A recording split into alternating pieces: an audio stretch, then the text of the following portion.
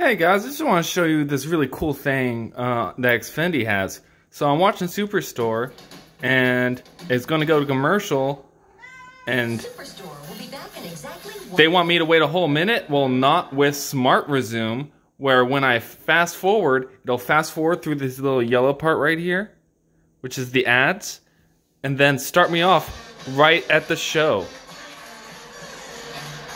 I mean, you got to get the tail end of the Facebook ad. Um, but there's the show.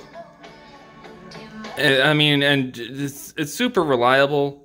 Um, it's like sometimes, like you just saw, you'll catch the very end of something, but usually not not very much at all.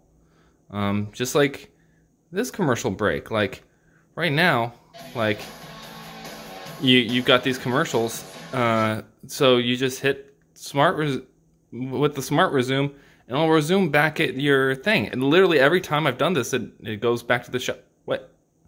Proof this message. Wait, what's this little blue? Bloomberg was one of the most empowering What? experiences that I've had. It's important to talk to the people who know him personally. Huh? I worked for him. Why would a why would a why why is there a little bit of blue in that yellow? That that's not the show. This is this is Mike Bloomberg. Why would there be right after a Tom Steyer ad apparently? Interesting.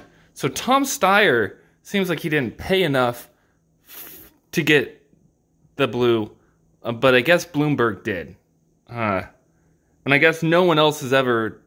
This has literally never happened. It's really coincidental, I'm sure, that it's at the very beginning of Mike Bloomberg ad. Um, yeah, really, really cool stuff.